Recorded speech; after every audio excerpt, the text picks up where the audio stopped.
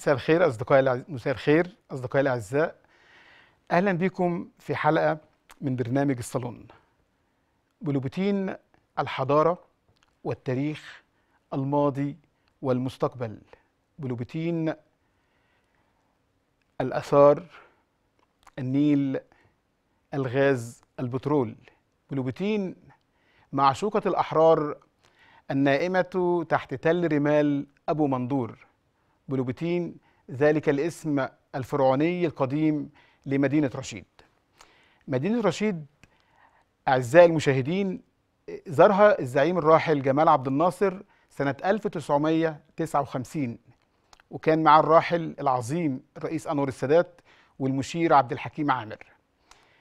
فتحوا في الزيارة متحف رشيد الوطني في منزل أثري قديم اسمه منزل عرب كلي.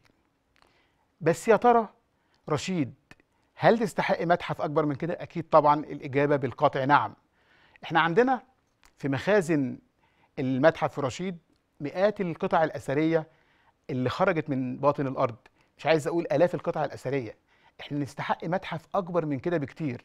ما إحناش أقل من اسكندرية ما إحناش أقل من شرم الشيخ ما إحناش أقل من كفر الشيخ. فتح فيها متاحف كبيرة جدا. وإحنا عندنا آلاف القطع المنسوبة والمدفونة كانت تحت رمال تل أبو مندور الأثري إيه بنتكلم عن الآثار ورشيد. مش ممكن أنسى منزل الميزوني. منزل الميزوني اللي اتربت فيه غادة رشيد زبيدة البواب. وكل الناس المتعلقة بالآثار وبالحضارة والسفر والترحال تعرف مين زبيدة البواب التي تزوجها جنرال مينو بعد أن أعلن إسلامه وسمى نفسه عبد الله. المنزل ده ممكن يدخل لي عملة صعبة لو عملت شوية شغل صغيرين. يعني عملت دعاية وقلت للناس وعرفتهم إن هذا المنزل الذي يقع في منتصف المدينة عاشت فيه زبيدة البواب مع زوجها عبد الله مينو.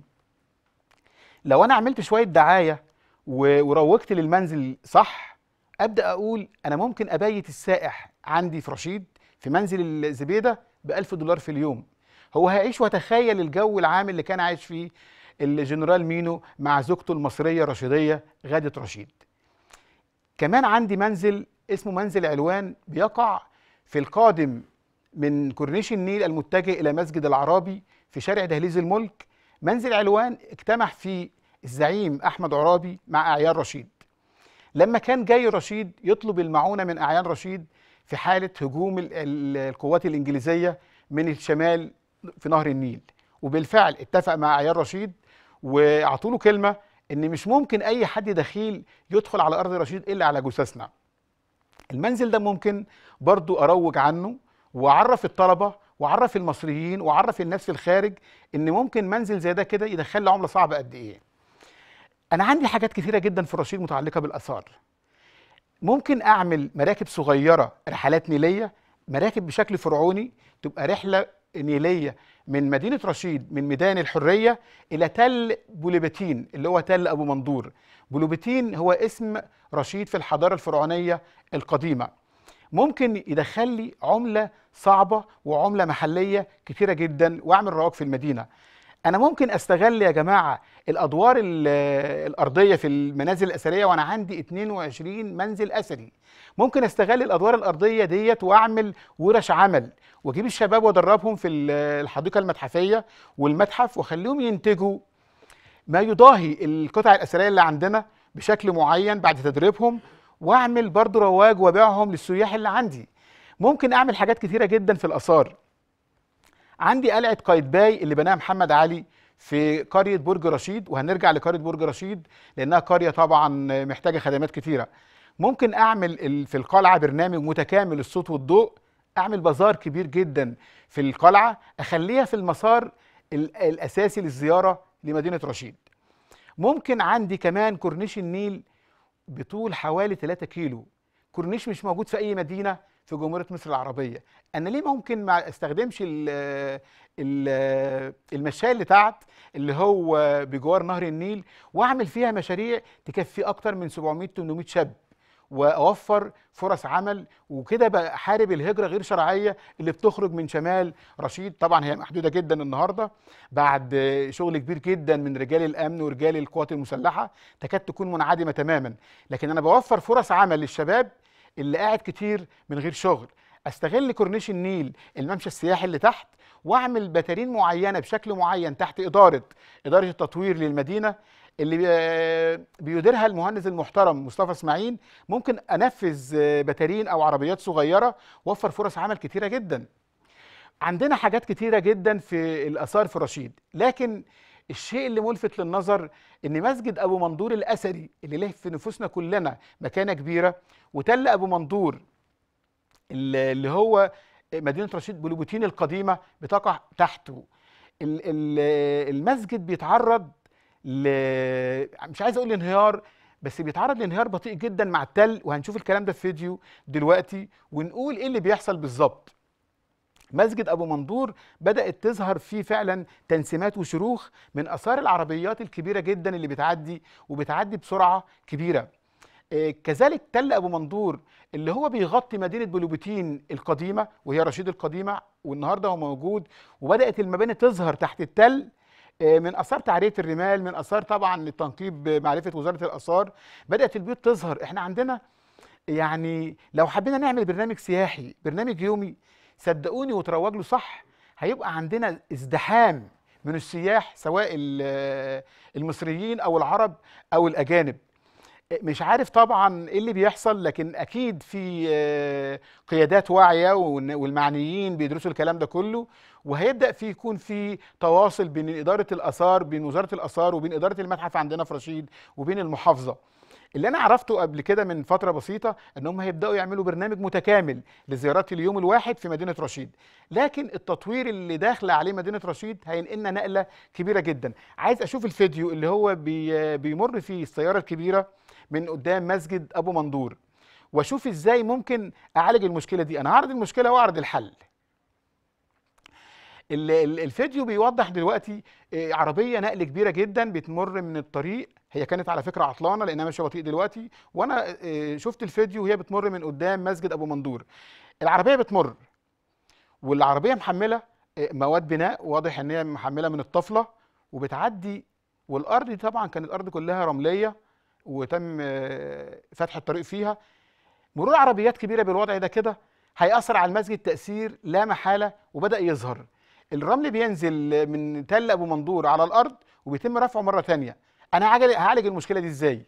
أعالج مشكلة عربية زي دي كده ومش عربية واحدة اللي بتعدي في اليوم ممكن يكون 50 60 عربية بتعدي طبعا بدري وبتعدي بالليل وبتعدي طول النهار لما العربية بتعدي من جانب مسجد أبو منظور اللي هو ظاهر في الصورة باللون الأبيض وده مسجد طبعا بناه الخديوي إسماعيل جدده وليه حكايات واساطير والناس اللي بتروح تزور رشيد. لازم يروحوا المسجد ويشوفوا كمان الحاجات اللي في المسجد وكلمه محمد اللي هي على العمود إزاي ظاهره بشيء طبيعي وبئر أبو منظور اللي الناس بتتبرك بيه. المسجد نفسه كله تحس إن فيه روحانيات غريبة. هو المسجد الوحيد بال- بالشكل ده. أعالج المشكلة إزاي؟ أعالج المشكلة إدارة التطوير ممكن تعمل لي بوابة أثرية بطريقة معينة حسب هي ما ترتقى الشكل اللي يناسب المنطقة ويناسب جمال وهيام المنطقة. تسمح البوابة ديت بمرور سيارات الملاكي والسيارات الصغيرة. طب واحد يقول لي والعربيات الكبيرة تعدي منين؟ آه عندي طبعا الرافد الدولي طريق الصرفي تعدي منه السيارات الكبيرة المحملة بمواد البناء المختلفة وتبدأ توزع نفسها في أي مكان. لكن مكان زي ده لو أنا سبت النهاردة وبكرة وبعده للسيارات الكبيرة أنا ممكن أتفاجئ في يوم إن المسجد انهار وممكن أتفاجئ في يوم إن الجبل بدأ يتصدع. أكيد إدارة التطوير آه، والقائمين عليها عندهم أفكار إن هم يعالجوا مشكلة زي دي. أنا بطرح المشكلة مفيش خلاف بيني وبين طبعا إدارة التطوير ولا المحافظة ولا أي مكان لكن ممكن يكون إحنا بنكمل بعض ممكن أكون العين الثالثه للمسؤول اللي هو مش شايف حاجة معينة. فأنا بلفت نظره لمشكلة ما أكيد هو طبعا بيتلقى الكلام دوت وبدراسات بسرعة بيتكلم فيها. وده دور كل مواطن مصري آه، بيخاف على بلده وسياده الرئيس عبد الفتاح السيسي حفظه الله طبعا آه، المشير عبد الفتاح السيسي. ده أنا بفتخر أنا كنت أنا اللي كنت عامل حملة ال- المشير عبد الفتاح السيسي رشيد البحيرة. هو بيقول في أول مرة أنا مش هشيل الشيلة لوحدي. أنتوا كلكم شركاء معايا. من هذا المنطلق أنا بدأت آه، أتطوح في الشارع وأنقل الصور اللي هي من شأنها أرفع بيها قدر بلدي. وأبدأ آه، أطرحها على المسؤولين. مع عندنا ال- معالي الوزير السيد اللي هو هشام أمنة محافظ البحيرة وعندنا المهندسة المهندسة سلوى زاكر رئيسه المدينة مش بنشر أي حاجة على صفحتي الشخصية إلا بعد ساعات قليلة جدا بيتم معالجتها فورا ورفع أسباب الشكوى والمواطنين كلهم بيتعاونوا معايا وبصراحة الحمد لله بلاقي تجاوب كبير جدا من الإدارات المحلية عندنا في رشيد وفي المحافظة. لكن يهمني إن أنا أشوف البوابة الأثرية في أسرع وقت ممكن على هذا المكان. ال- المكان بيحز جوايا وبيحز جوه أي واحد رشيدي وأي واحد مصري لما يشوفه ويبدأ يتأثر ال- المكان بعربيات كبيرة. فمعلش أنا ب... أنا أنا متأكد و... وعلى يقين إن هيبقى في تحرك سريع جدا لإقامة البوابة. كنت في وقت من الأوقات في حزب مستقبل وطن وطرحت المشكلة ديت وأمين الحزب قال لي طب يا محمد ممكن تكتب لي طلب؟ كان في عهد المهندسة المحترمة نادية عبده محافظ البحيرة السابق وبالفعل كتبت الطلب وطلبت بالبوابة وتمت الموافقة من المهندسة نادية عبده بالإسراع في إنشاء البوابة. أنا ما أعرفش طبعا هم اتأخروا ليه. أكيد في دراسات بتتعمل أكيد في حاجات بتتعمل إن شاء الله كويسة للمكان. لو اتكلمت عن الآثار في رشيد وعن ال- البيوت الأثرية وعن منزل الامصيالي وطاحونة أبو شاهين صدقوني إحنا عندنا تراث في رشيد يعني لا يقدر بمال. إحنا عندنا أماكن ممكن أعمل رواج سياحي لو تم التنسيق بين إدارة المتحف في رشيد. المحترم الدكتور سعيد رخا بيقود المتحف وبيقود مجموعة شباب جميلة جدا. لو تم التنسيق بين الدكتور سعيد والمحافظة وإدارة المتاحف عندنا إحنا هيكون لنا شأن عظيم جدا على مستوى السياحة في مصر. رشيد ما هياش صغيرة ما هياش البلد الصغيرة اللي فيها متحف صغير زي في منزل عرب كيلي إحنا عندنا المكان اللي ممكن يتعمل فيه متحف قومي.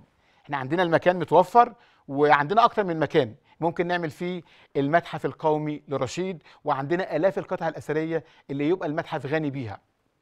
مش عايزين قطع من أي متاحف آه، مساعدة إحنا عندنا اللي يكفينا وعندنا تراثنا وتاريخنا اللي بنفتخر بيه. ال ال ال القيادة التنفيذية النهاردة في مدينة رشيد والقيادة التنفيذية في المحافظة بتولي رشيد طبعا آه، بشكل خاص وعندنا دايما زيارات واهتمام بشكل ملفت للنظر. أنا بستغل الحاجات دي كلها ومن آه، برنامج الصالون بوجه الدعوة لفخامة الرئيس عبد الفتاح السيسي يزور رشيد. يزور رشيد يعني معنى ذلك تطوير على أعلى مستوى. فخامة الرئيس يزور رشيد مجرد إن تعلن عن زيارة الرئيس عبد الفتاح السيسي يبقى رشيد هتبقى في بؤرة الأحداث بؤرة الاهتمام مع إنها بؤرة الاهتمام لكن هتبقى أكتر من كده الاعتمادات هتزيد وإحنا طمعانين طبعا آه، في كده. إحنا طمعانين إن اولادنا يطلعوا في مدينة لا يضاهيها لا تضاهيها مدينة في مصر كلها. إحنا طمعانين رشيد تكون هي البلد رقم واحد في الآثار الإسلامية مع إنها هي في الترتيب بعد القاهرة. لكن إحنا عندنا 22 منزل أثري إحنا عندنا طاحونة أبو شاهين. إحنا عندنا حمام عزوز اللي بتمنى يكون فيه اهتمام بيه لأن هو مغلق بقاله فترة كبيرة. آه، مش عارف مغلق ليه. مؤكد إن هيبقى فيه ترميم قريب لأن أنا سمعت إن هيتم ترميم حمام عزوز.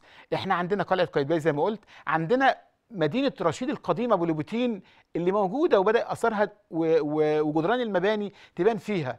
لو سوقنا الكلام ده بطريقة صحيحة عايز أقول السعد كله هيبقى عندنا في رشيد. اللي هيبيع ورده في رشيد هيعيش. اللي هيبيع ثبت معمول بإيد شاب اتدرب في متحف رشيد هيعيش. اللي هيبيع أي حاجة لو اهتمينا بالآثار في رشيد وده طبعا هي خطة الدولة الارتقاء بالآثار. وزي ما شفنا رئيس الوزراء شخصيا وهو نازل آه، بيشوف التوابيت والآثار اللي اكتشفوها تحت الأرض من حوالي أسبوعين إحنا مش أقل من الأماكن دي كلها. علشان كده بأطالب بزيارة الرئيس عبد الفتاح السيسي لمدينة رشيد. ال ال ال الزيارة زيارة الرئيس عبد الفتاح السيسي هتنقلنا نقلة كبيرة قوي وهيتم تنفيذ رؤية الرئيس عبد الفتاح السيسي في 2017 الرئيس عبد الفتاح السيسي في مؤتمر الشباب في اسكندرية أصدر بيان تطوير مدينة رشيد في خلال ثلاث سنوات. الشغل صحيح موجود لكن مش على القدر اللي إحنا بنطمع فيه. عندنا النهارده بيحصل إنشاءات ضخمة جدا في رشيد الجديدة والعمارات بسم الله ما شاء الله حاجة تشرح القلب وبدأت تظهر آه، لكن أنا طمعان في حاجة هطلبها من الرئيس شخصيا. الأسعار اللي انطرحت بيها الشقق كتيرة جدا على الشباب. الشقة اللي هي بسعر كبير جدا الشاب اللي لسه بادئ في حياته ولسه بيقول يا هادي صعب عليه الأسعار دي يا ريس. وإحنا طمعانين في الأب والأخ الكبير والقائد العظيم الرئيس عبد الفتاح السيسي إن هو يخفض سعر الشقة علشان كل أم وكل أب وكل شاب يقدر يعيش الحلم يعيش الحلم إن في عندنا مدينة بتتبني جديدة اسمها رشيد الجديدة. وأبدأ أفرغ مدينة رشيد القديمة من الصناعات المزعجة عشان أخليها متحف مفتوح. إحنا مش أقل من لوكسور إحنا مش أقل من أي مدينة كبيرة نبقى مدينة سياحية أثرية من الطراز الأول. عندنا اكتفاء ذاتي من ال من ال القطع الأثرية. أنا شفت في منزل الأمصيالي دينار ذهب آه، تم صكه في الدولة الأموية. أنا شفت في في منزل الامصيالي والحاجات دي كلها موجودة في المخازن على فكرة. شفت في منزل الأمصيالي في البتارين شفت أسد على شكل أبو الهول من الجرانيت الأسود. إحنا عندنا آثار تفتح أكتر من متحف. إحنا عندنا آه اكتفاء ذاتي من القطع الأثرية اللي بطالب للمرة الثانية والثالثة والعشرين بإقامة متحف قومي يليق باسم مدينة رشيد. آه أسوة زي ما قلت بالأسكندرية بشرم الشيخ بكفر الشيخ. في الوقت اللي زي ده آه منزل عرب كيلي اللي أنا مستخدمه وطبعا المنزل بيتعرض برضو للسيارات اللي بتعدي من جنبه للتنسيمات والحاجات دي ولازم يكون في تصرف سريع من الدولة أو من المعنيين إن هم يرمموا أو يلحقوا منزل عرب كيلي اللي هو متحف رشيد الوطني. عندي حاجات تانية بحلم تكون موجودة في رشيد. بحلم يكون يعني مثلا عندي الكورنيش بيبدأ من مسجد أبو منظور لمسجد الحق حوالي 4 كيلو أو 5 كيلو. كان في المفروض في التطوير القديم يطلع عمود كهرباء من الكورنيش اتلغى العمود وتم عمل عمود تاني على الكورنيش نفسه على القطع الموجودة. في كابل كهرباء بسمك حوالي 250 مللي تم دفنه في الأرض. أنا ليه ما استغلش الكابل ده وأطلعه وأبيعه مثلا وأستخدم ثمنه في التطوير؟ الكابل ده حوالي امتداده من مسجد أبو منظور لمسجد حوالي 3 كيلو 4 كيلو. لما اطلع الكابل واعيد البلاط مكانه تاني أنا مش هعمل خسائر بالعكس أنا هستفيد بحاجة عظيمة جدا مدفونة ملهاش أي لازمة من سنة 2007 2008 لما اطلع الكابل هو لسه بحالة جيدة جدا ما فيهوش أي مشكلة. لكن إن أنا أداري الكابل وأعمل شوالي من الزخرفية عشان أداريها أنا كده طبعا بعمل تعتيم على ثروة ليا في الأرض مدفونة ممكن أستفيد بيها. وبوجه برضو الكلام دوت للمعالي الوزير السيد هشام أمنة. إنه يوجه مدير التطوير إن هو يستخرج هذا الكابل ونستخدمه في حاجات تانية للمدينة. ال ال ال الرشيد لو اتكلمنا عنها وعن الحاجات اللي فيها وعن الإمكانيات المتاحة اللي موجود فيها هنبقى مدينة عالمية. رشيد النهارده على نهر النيل وعلى البحر المتوسط الثروات اللي عندنا شركات الغاز وشركات البترول وشركة الرمال السوداء وكم الأعمال الضخمة اللي عندنا إلا إن إن الشباب عندنا بيعانوا من بعض البطالة. لكن مؤكد هيبقى في حل. مؤكد ما دام ألقينا الضوء على البطالة في رشيد في وجود الشركات دي إحنا اولادنا ليهم حق إن هم يتعينوا في الشركات ديت المقامه وده كان وعد من السيد الرئيس عبد الفتاح السيسي. وأنا بجدد الطلب بتاعي للسيد الرئيس ان يكون ولادنا ويكون إخواتنا ولهم أولوية في التعيين في الشركات الموجودة على أرض رشيد. اللي مش ممكن أنسى لما السيد الرئيس عبد الفتاح السيسي قال اللي عايز شغل يا أولاد يا اولادي ينزل رشيد. طيب إحنا اولادنا أولى وأحق طبعا لكن أكيد في تخصصات بتنطلب ممكن ما تكونش متوفرة ممكن تكون متوفرة لكن الشاب مش عارف الطريق اللي هو يروح يطالب بوظيفة محترمة في مكان محترم. الأستاذ محمد جلو حبيبي من رشيد معانا مداخلة. لا اتفضل يا أستاذ محمد. طبعا أستاذ محمد وطي التلفزيون لو سمحت وتكلم التليفون.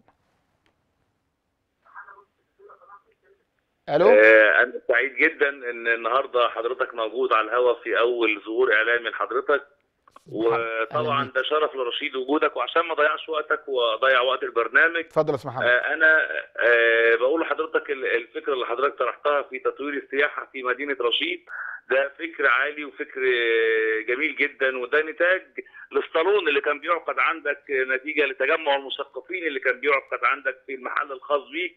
وأنا أحييك على اختيار الاسم الجميل للبرنامج الصالون لأنه فعلا إحنا كنا بنقعد في صالون ثقافي مع بعضنا يعني. أستاذ محمد اللي أنا عايز أضيفه لحضرتك إن إحنا مش لازم نعتمد على عاتق الدولة بس في تطوير المنظومة السياحية في رشيد. إحنا لازم نقسم المنظومة لثلاث اتجاهات. اتجاه للجمعيات الأهلية زي الجمعية اللي جت في سنة آه، 99 جمعية فدا. اللي كانت عاملها الدكتور عدلي بشاي وقام بتطوير منطقة الجمالية في القاهرة مظبوط. ونسند إليها مثلا تطوير منطقة العرابي أو تطوير منطقة دهليز الملك أو أيوه منطقة مثلا آه، شارع الامصيالي ده مظبوط. جزء آه، آه، تتبناه آه، صناديق الثقافة آه، الأمريكية مثلا أو صندوق ثقافة فرنسي أو صندوق ثقافة إنجليزي ويبدأ يعمل ده تحت رعاية وإشراف الدولة.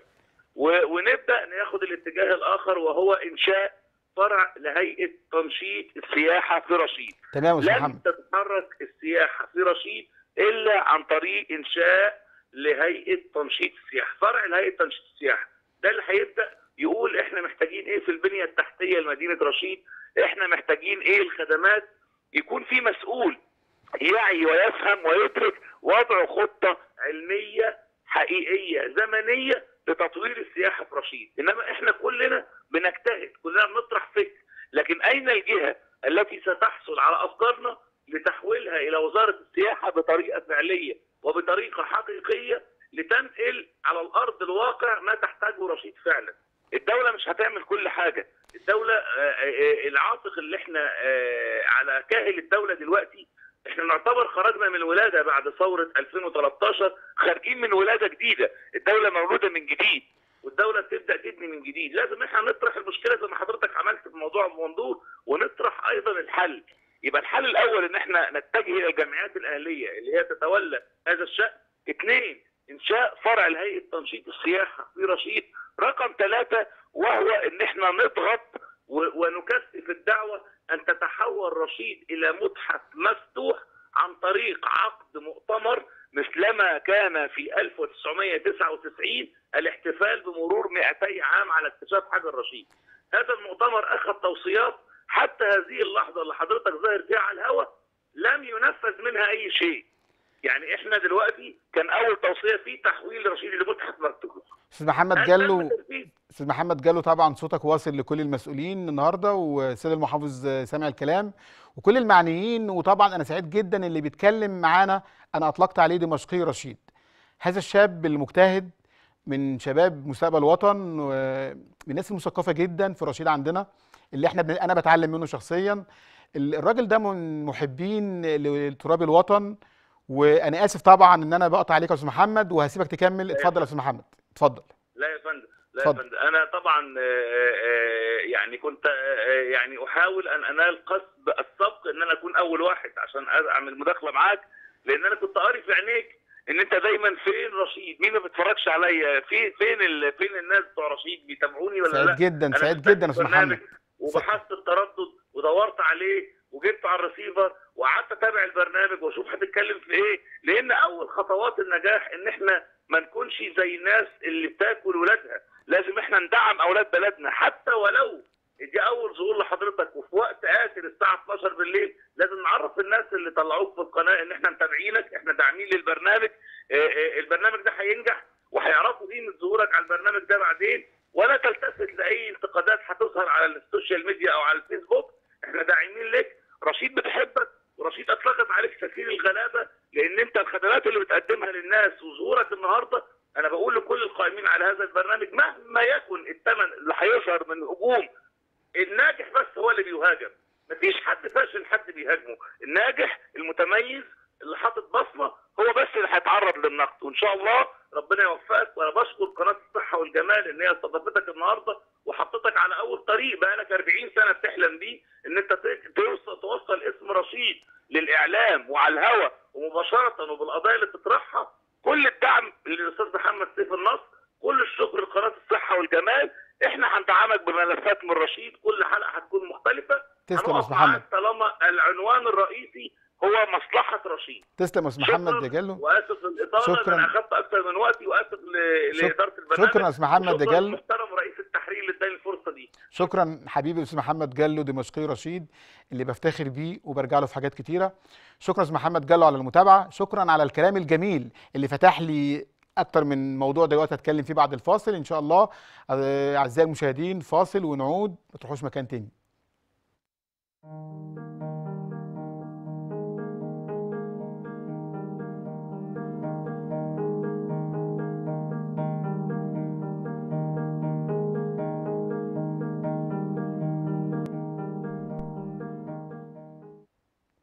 أعزائي المشاهدين رجعنا لكم تاني من برنامج الصالون. آه، أهلا بيكم للمرة التانية. آه، كنت بقول آه، من كلام الأستاذ محمد جالو هي لازم الدولة ما تشيلش كل حاجة. في التطوير أنا كنت عرضت فترة فكرة أنا آسف فكرة على على المهندس مصطفى إسماعيل المهندس الواعد اللي هو إدارة مدير التطوير في مدينة رشيد.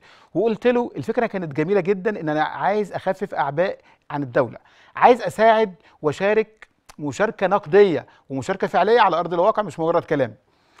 آه، كنت عرضت إن أنا ليه ما يكونش في رجل أعمال آه، سين أو صاد أو لام أو عين يتطوع ويعمل شارع بالكامل بالإنترلوك حسب المواصفات اللي إدارة التطوير بتحددها حسب الألوان اللي إدارة التطوير بتختارها حسب الخامات اللي إدارة التطوير بتختارها. ويتعمل بشكل هندسي شارع مثلا نقول 200 متر رجل أعمال آه، يعمله على حسابه على نفقته الخاصة وإهداء لمدينة رشيد كل المطلوب آه، رجل أعمال اللي طلبوا أو أنا عندي طبعا أكتر من 20 رجل أعمال كانوا مستعدين يعملوا أكتر من 20 شارع. آه، كل اللي هو طالبه يتكتب على الشارع آه، لافتة بطريقة معينة إهداء من فلان الفلاني لمدينة رشيد. لا عايز يسمى الشارع باسمه. المهندس مصطفى إسماعيل قال لي يا محمد فكرة جميلة جدا وأنا هعرضها فورا على السيد المحافظ. الكلام ده كان من حوالي شهرين. آه، ما أعرفش طبعا ال- المهندس مصطفى وصل لإيه بالظبط مع معالي الوزير. والفكرة ما زالت قائمة. ورجل الأعمال أو رجال الأعمال لا زالوا مستعدين ينفذوا. ومن هنا بجدد الدعوة لمعالي الوزير السيد اللي هو هشام أمنة. يا ريت يناقش الفكرة مع المهندس مصطفى أو مع إدارة التطوير. وأنا على استعداد تام وكامل إن أنا أوفر أكتر من رجل أعمال يساعد وينفذ بالشكل والرسم والخامة والجودة اللي إدارة التطوير طالباها وده مش أقل من أي حاجة أقدر أقدمها لبلدي. رشيد بلدي اللي اتربيت فيها وعشت فيها وكلت من خيرها وتعلمت فيها وأموت فيها إن شاء الله بعد ما أشوفها أحسن بلد في الدنيا كفاية إن اسمها رشيد. عندي ميادين آه، عندي ميدان الأمصيالي هو ميدان طبعا أثري كبير جدا هو داخل مرحلة تطوير والدولة اشترت فيه أكتر من بيت عشان تبدأ التوسعات. عندي ميدان الحرية هيبقى فيه توسعات. عندي ميدان العرابي الميدان العرابي اللي كان موقف القديم هيتعمل فيه بانوراما. أعتقد الكلام ده مش عارف نسبة صحته إيه اللي أنا سمعته. بانوراما لمعركة رشيد معركة فريزر. المعركة اللي أخرت الاحتلال عندنا أكتر من 70 سنة إيه، هيتعمل فيها بانوراما. عندي ميادين كتيرة. ممكن رجال الأعمال ومتوفرين عندنا وكلهم محبين لبلدهم يساعدوا في التطوير ويشاركوا في التطوير مش هيتأخروا. إحنا معانا فيديو هنتفرج عليه ونشوف ممكن إيه اللي يحصل. ونطالب معالي الوزير السيد اللي هو هشام أمنة آه يعمل إيه في الفيديو دوت. الفيديو الفيديو بيوضح مدخل مدينة رشيد ال- الرئيسي من اتجاه الطريق الدولي. ال- ال- الطريق حوالي ال- ال- الجزء اللي إحنا بنتكلم فيه حوالي 900 متر ما يجيش كيلو حوالي 800 متر. لكن أربع سنين والطريق بالشكل ده يا فندم. إيه أنا بوجه كلامي دلوقتي لمعالي الوزير السيد اللي هو هشام أمنة إن مدخل الجدية رشيد اتجاه الطريق الدولي هو طبعا كله برك وحفر ومطبات. خلينا أكون العين الثالثه يا فندم لسيادتك. خلينا أكون العين الثالثه لمدينتي. وانقل الصورة. إزاي؟ قد إيه طبعا الزائر عندنا. وده بيمنع إيه، برضو الزيارات عندنا في رشيد. لأن لما يبقى المدخل عندي مكسر ومطبات من أربع سنين بالشكل ده أكيد في حاجة. طبعا مش هننكر إن في إيه، عمل تطو... إيه، صرف صحي. مش هننكر إن في مشروع صرف صحي في الطريق ده. لكن طريق 20 متر وال وال والأعمال بتتم في ال10 متر اللي هم اليمين من اتجاه رشيد أو ال- الطريق الدولي. ممكن يا فندم كنت أشتغل في ال10 متر اتجاه النيل آه، سفلتهم بعد ما أخلص سفلات المطر وسفلتهم وأخلي العربيات تشتغل منها وتعدي منها. وأرحم الزائر أو أرحم المواطن إن عربيته كل يوم عايزة تروح عند بتاع العفشة. ال- الطريق آه، كله بالوضع ده يا فندم وسيء جدا بصراحة. ال- المقاول ممكن يكون هو السبب المباشر. ممكن يكون عنده أعمال مرتبطة بالطريق لسه ما خلصهاش لكن لازم يكون في رقابة ودور المعنيين والأجهزة التنفيذية يكون واضح وصريح. لازم يكون ال- المسؤول ال- التنفيذي عندي في المدينة أو في المحافظة أو في التطوير يكون رقابة صارمة. طيب يا فندم لو تخيلت إن السيد الرئيس عبد الفتاح السيسي ربنا يبارك في صحته يا رب العالمين هيجي رشيد. الطريق ده هيخلص في 24 ساعة. طب ما نعتبر السيد الرئيس عبد الفتاح السيسي جاي رشيد ونبدأ نشتغل في الجزء اللي هو اتجاه النيل. ونبدأ نسفلته ونعمل آه، صفايات الأمطار اللي فيه ونعمل الكهرباء ونشتغل ونخلص. ما فيهوش غاز نص الطريق ما فيهوش غاز ما فيهوش كهرباء ما فيهوش مية. الكهرباء خالصة فيه. أشيك على الكهرباء وأشيك على صفايات المطر وأبدأ سفلته. صدقني يا فندم هيبقى في رشيد فيها زيارات كبيرة جدا وعندي السياحة هتنتعش أكتر. لأن الزائر لما بيجيني مره وبيروح أكيد بيقول لجيرانه بيقول لاصدقائه خلي بالكم مدخل رشيد مدخل بيضر السيارات. ال- لما يبقى عربيه ملاكي داخله عندي والراجل ينزل مطب زي ما هنشوف في في الفيديو ينزل مطب وتتكسر عنده حاجة في السياره مؤكد مش هيجي عندي تاني. طب أنا عايز اعمل جذب ولا عايز اعمل طرد للمدينه؟ لا أنا عايز اعمل جذب. يبقى أشوف الأول البنيه التحتيه عندي شكلها إيه؟ أشوف إيه اللي اخر المقاول؟ أشوف المقاول اتاخر بسبب إن أنا اللي بسببه يعني اعتماد مالي ولا الشغل بتاعه بطيء أنزل عليه شرط جزائي ولا إيه بالظبط؟ هل المقاول اللي شغال من الباطن أو المباشر بالأمر المباشر هو السبب في في التعطيل ولا سبب ولا سبب العطل؟ أكيد في أسباب موجودة اقعد مدخل مدينة أربع سنين بالوضع ده. ويا ريت كده وبس كمان العربية بتطلع من ال 800 متر دول من خنقه ال- السائق بتاعها أو صاحبها بياخد بقية الطريق بسرعة جنونية. يا فندم على فكرة بسرعة جنونية يعني بيعدي من أمام مسجد أبو منظور والتل الاسري السرعة بتاعته بتأثر برضو على المسجد وبتأثر على التل الاسري ما هو طالع من ربع ساعة في 900 متر. ما يقدرش يعديها أكتر من كده. فبيفضي ال- الكبت اللي جواه واللي شافه في الطريق ده بالسرعة الجنونية اللي بيعملها بعد كده ويأثر على المبنى الأثري اللي هو مسجد أبو منظور وعلى تل بولوبوتين إيه، أتمنى طبعا من معالي الوزير السيد اللي هو هشام أمنة دراسة هذا ال- الموضوع ودراسة هذه المشاهد وزي ما بعرض سلبيات أنا أكيد طبعا عندي إيجابيات كتيرة وعندي فيديوهات كتيرة الايجابيات في رشيد عندنا. عندي ال- الميناء الصيد ال- الميناء هيبقى رقم واحد على مستوى مصر طبعا آه، عندنا في رشيد. أهلا وسهلا معانا مداخلة من الأستاذ محمود أمين. اتفضل يا فندم. ازيك يا أستاذ محمد؟ أهلا وسهلا أستاذ أمين. أهلا وسهلا. أستاذ محمود محمود معاك يا باشا. أستاذ محمود اتفضل. اتفضل يا أستاذ محمود. معاك محمود من معديه رشيد. أهلا وسهلا. اتفضل. أهلا بك يا فندم. معديه رشيد يا جماعة هي قرية قرية مسقط رأسي. آه، تتبع مركز مطوبس محافظة كفر الشيخ لكن بينها وبين رشيد آه، بيننا وبين رشيد طبعا روابط أثرية. بيننا وبينها نهر النيل. كل طلباتهم بتبقى من رشيد. حتى المرضى بيبقوا عندنا في مستشفى رشيد العام. آه، كل بضاعتهم مأكلهم مشربهم ملبسهم من من مدينة رشيد. اتفضل يا أستاذ محمود. أهلا نتشرف بك يا باشا. أهلا وسهلا. أنا نفسي أعرف يعني قريتنا دي معدومة من الخدمات خالص. يعني إحنا تبع رشيد ولا تبع كفر الشيخ تبع مطوبس زي ما قلت أستاذ محمود دلوقتي طبعا قرية معدية رشيد وقف بحري بتتبع الوحدة المحلية للجزيرة الخضراء التابعة لمركز مطوبس التابعة لمحافظة كفر الشيخ وأكيد هنتكلم عنها في حلقات إن شاء الله وهنتكلم عن المشاكل اللي بتقابل معدية رشيد معدومة من الصرف الصحي معدومة من الغاز معدومة من الرصف. لكن كان عندكم المهندسة عايدة ماضي رئيس مدينة مطوبس كانت سيدة طبعا شعله نشاط وكانت مديرة التطوير في رشيد. هي راحت النهارده مدينة دسوق وأعتقد عندكم برضو رئيس مدينة محترم. هتواصل معاه وأنا عايز أسمعك يا أستاذ محمود. أنت حضرتك أنت نزلت معديه رشيد وشفت الطريقة الرشيدية وشفت الزبالة اللي في الطريقة الرشيدية وصورتها بنفسك. ونزل وبصراحة اتعاونوا معانا تاني يوم وشالوا كل الحاجات اللي كانت موجودة فيها. الكلام ده من مفيش سنة. حاجة اتشالت. مفيش حاجة اتشالت. لا يا فندم. الترعه اللي هي الصغيرة. اللي عند أمين عجلان اتشال منها كل حاجة وإحنا نزلنا الصور تاني يوم والترعه اللي في الشرق اتشالت ونزلنا الصور تاني يوم وشكرنا المسؤولين في الوقت ده. ولو كان فيها حاجة تانية إن شاء الله نصورها ونرفعها. أنا أنا بس أنا عايزك تنزل تشوفها وتنزل تشوف هم بيطلعوا من الطريق يحطوا على السكة بيبوظوا الدنيا أكتر. أستاذ محمود تاني وتالت ورابع وعاشر ومش هنسيب أي مواطن هنوصل صوته للمسؤول ومؤكد المسؤول النهارده عنده تعليمات صارمة من القيادة السياسية. راحه المواطن وإزالة أسباب أي شكوى.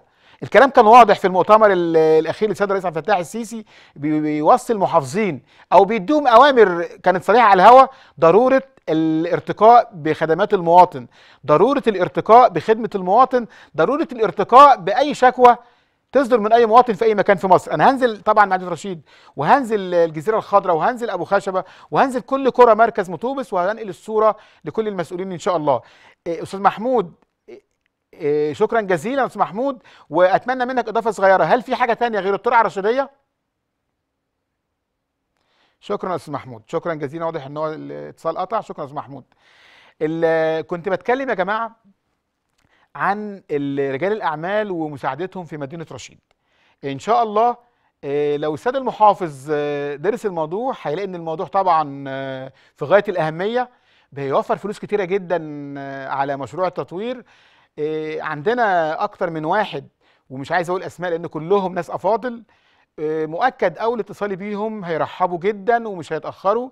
وزي ما قلت كلنا بنعشق مدينة رشيد وكلنا بنخاف عليها وكلنا نفسنا نشوفها أحسن مدينة في العالم. أحسن مدينة في العالم بينا. بوقفتنا معاها بوقفتنا مع التنفيذيين وال- والمعنيين بوقفتنا مع مجلس المدينة مع وقفتنا مع السيد المحافظ إذا كان نقدنا ساعات بيبقى موجود هو نقد بناء مش ممكن نعمل نقد هدام لأن بلدنا إحنا اللي هنبنيها. آه، بلدنا إحنا اللي هنقوم بيها. إحنا مش هنستنى حد يعمل لنا حاجة. إحنا بس كل القصة إن إحنا العين الثالثه للسادة المسؤولين. آه، أتمنى لل- للمرة المليون إن السيد الرئيس عبد الفتاح السيسي يزورنا في رشيد. أهلا أستاذ أسامة المرشدي اتفضل معانا أستاذ أسامة المرشدي من رشيد اتفضل. اتفضل أستاذ أسامة.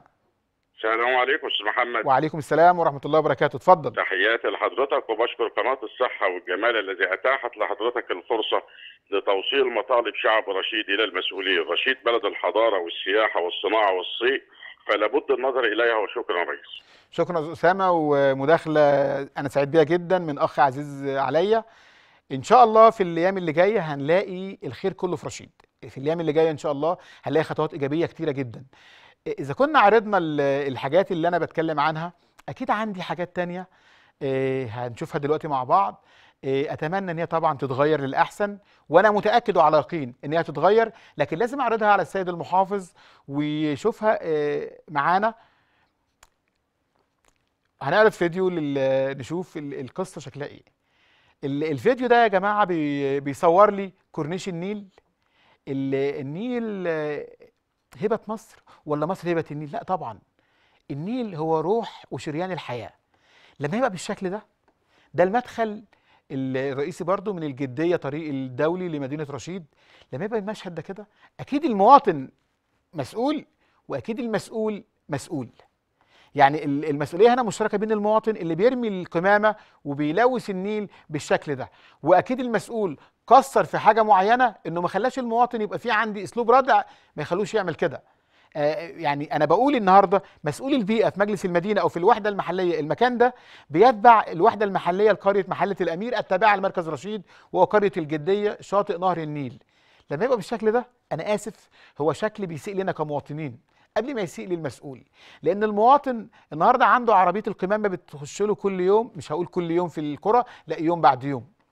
وزي ما شفت النهارده مشهد زي ده كده كنت أتمنى طبعا أصور ال- أنا عندي صور لقريه محلة الأمير نفسها.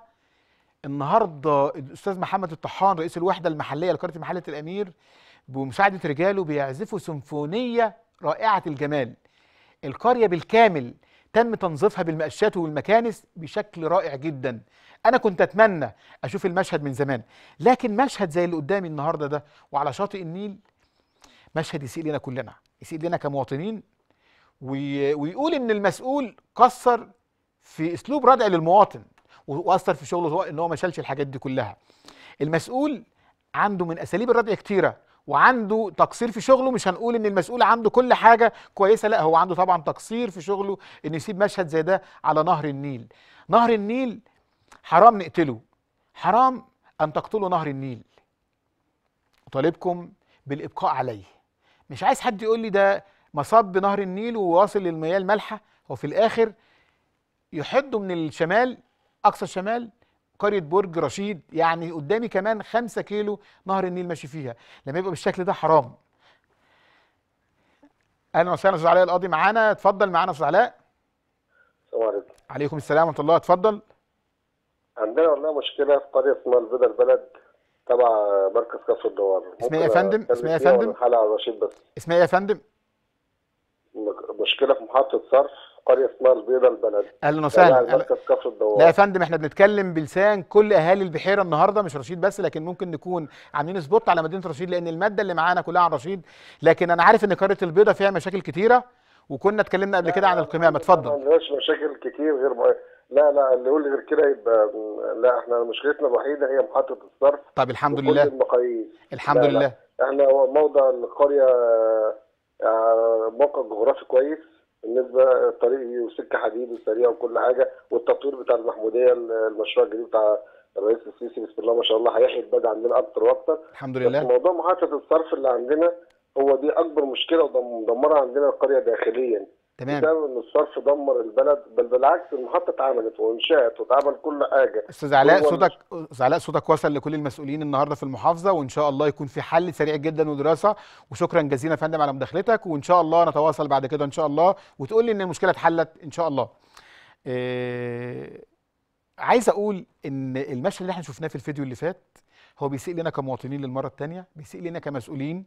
إيه وبقول لكم لا تقتلوا النهر بل ابقوا عليه لتستمر الحياة لتستمر رشيد على قيد الحياة وإلا إذا مات النهر ماتت الحياة ماتت رشيد ولن نسمح أن تموت رشيد أو يموت النهر. إيه معانا فيديو هنبص عليه ونشوفه الفيديو يا فندم ده كان يوم 22 ع- أكتوبر الماضي في الشتوية اللي فاتت الكبيرة ديت وبيبين المكان ده بالذات أمام مسجد المحلي. اللي حصل إن الأمطار كانت غزيرة جدا لكن ما كناش إحنا بصراحة مستعدين لها عشان نقول الحقيقة ونعرف نعالج بعد كده المشكلة إزاي. صفات المطر ما كانتش على المستوى ال- المطلوب إن إحنا نقابل شتاء بهذا الشكل. ال- البنية التحتية عندنا والصرف الصحي عايزة مراجعة. المهندس مصطفى كان قبل كده كلمني قال لي أنا بعت جوابات أشوف بيها شبكة الكهرباء وشبكة المية والصرف عشان أبدأ أشتغل لأن الشارع ده داخل مرحلة تطوير. وإذا كنت اتكلمت عن المطر والصفات المطر اللي خلت الشارع بالوضع ده وأمام مسجد المحلي مسجد المحلي يا فندم هو من أكبر مساجد رشيد ومقفول من سنة 2008 المسجد تم غلقه للترميم من 2008 حتى 2020 يعني بقالنا 12 سنة. مش عايز أكون مبالغ وأقول بقالنا أكتر من كده. مسجد السيدة علي المحلي وهو أشهر مساجد مدينة رشيد آه، بعد مسجد زغلول اللي تم افتتاحه من آه، حوالي عام تقريبا أنا مش عارف المسجد إزاي يقعد 12 سنة وما يخلصش العمل فيه. إيه إزاي؟ السؤال بيقول اللي بينطرح على لسان كل مواطن رشيدي من المسؤول وراء تأخير إتمام الإعمار لمسجد المحلي؟ وإذا كان مسجد المحلي أنا بالصدفة اتكلمت عنه ما كنتش إن أنا أتكلم عنه لكن الامطار اللي قدامنا اللي غرقت رشيد في اليوم ده وبصراحة أنا مش هقول إن ال- المسؤولين ما اتحركوش لا هم اتحركوا. هم صحيح أثروا في الأول لكن لما حصل الكلام ده وبعد انتهاء المطر الناس اتحركت وفي خلال أكتر أقل من 10 دقائق كانت المياه كلها متصرفة. وهم عرفوا المشكلة وأنا اتكلمت مع المهندسة سلوى في المكتب وقلت لها يا فندم إحنا نحاول نجرب الصفات المطر تجرب عملية أجيب سيارة المياه وأضخ بالخرطوم في قلب صفات المطر أعرف إذا كانت هي تستحمل معايا الضغط الكبير ده ولا مش هتستحمل. هي بصراحة بعد المطر اشتغلوا وعملوا الكلام دوت وغيروا الغطيان كلها بتاعه صفات المطر وهم شغالين لكن مسجد المحلي يقعد 12 سنة بالشكل ده مؤكد هناك خطأ مؤكد في حاجة غلط. مسجد المحلي يا فندم من 2008 حتى اليوم ما خلاص عيب عليا كمواطن إن أنا ما اوصلش صوت أهل رشيد للسادة المسؤولين. مسجد المحلي مسجد أثري عظيم جدا مسؤول عنه وزارة الآثار مسؤول عنه هيئة. وزارة الأوقاف مسؤوله عنه المحافظة. محافظه البحيرة. وعلشان الوقت زنقنا بسرعة عايز أقول حاجة على السريع. معالي الوزير السيد اللي هو هشام أمنة محافظ البحيرة أنقل لسيادتك آه، شكوى من أهالي رشيد اللي بتقول رشيد يا فندم مش كورنيش النيل. رشيد يا فندم مش متحف رشيد. رشيد يا فندم مش ميدان الحرية. رشيد مش شارع مضرب التحرير. مضرب التحرير يا فندم تم تأشير الأسفلت بتاعه من حوالي شهرين ولحد النهارده لم يتم رصفه. المهندسة سلوى وعدتني إن هيتم العمل فيه من حوالي أسبوعين ولم يتم ذلك لعل المنع خير. وعايز أقول آه، بقية شكوى أهالي رشيد إحنا عندنا مناطق آه، ما فيهاش صرف صحي. إحنا عندنا مناطق لحد النهارده ما فيهاش غاز. عندي منطقة العشش بمدينة رشيد لغاية النهارده ما فيهاش صرف صحي وتبعد عن الكورنيش ب 50 متر فقط. أكيد أكيد يا فندم من خلال س- برنامج الصالون قناة الصحة والجمال هنتابع كل القضايا. وزي ما عندي فيديوهات بتظهر بعض السلبيات عندي فيديوهات بتظهر إيجابيات عظيمة جدا. هنعرض هنا وهنعرض هنا وحق الرد مكفول لكل المسؤولين. آه، قبل ما أنهي البرنامج أنا سعيد جدا جدا جدا إن أنا أتيحت لي هذه الفرصة أتكلم فيها عن مدينتي عن مسقط رأسي عن آه، آلام آه، المواطنين عن أحلام المواطنين. وبتمنى دعوة السيد الرئيس عبد الفتاح السيسي اللي تمت في خلال مؤتمر الشباب 2017 إن هي تكون متحف مفتوح أتمنى يتم تحقيقها. أشكركم أصدقائي الأعزاء أشكركم المشاهدين الكرام وعلى وعد باللقاء إن شاء الله في حلقة جديدة. هنعرض فيها فيديوهات جديدة تبين مشاكل وفيديوهات تبين إيجابيات عظيمة جدا. أشكركم والسلام عليكم ورحمة الله وبركاته.